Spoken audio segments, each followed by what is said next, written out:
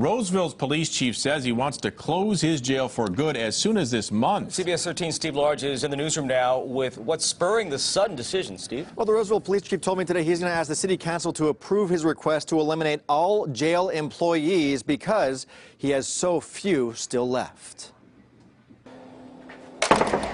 These Roseville jail doors are closing for good. We're about at the finish line. The long planned slammer shutdown is suddenly speeding up because Roseville Police Chief Daniel Hahn says he's running out of jail employees. We're at a point where we can't keep it open. Employees have been leaving since Hahn announced the eventual closure in line with the opening of a new county jail in Roseville across town. I personally don't think that we need a jail when we have a jail, the county jail, in our city. The once full-time city jail has turned part-time. Roseville employed 10 officers at full jail staffing. That's down to just four now, including a supervisor making roughly $80,000 a year.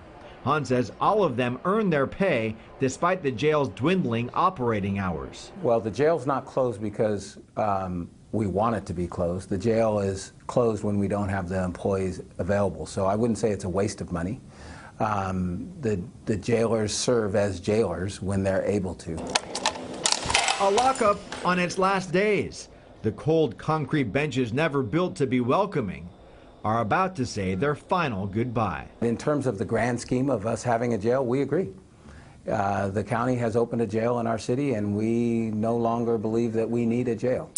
By the way, of those four remaining employees, two have already given notice, according to Chief Hahn, and he says that it's up to the council now to determine whether or not those remaining leftover two employees will be offered new work within the city. They've been talking about this closure for a while. Okay, Sudden is right. Steve, thanks.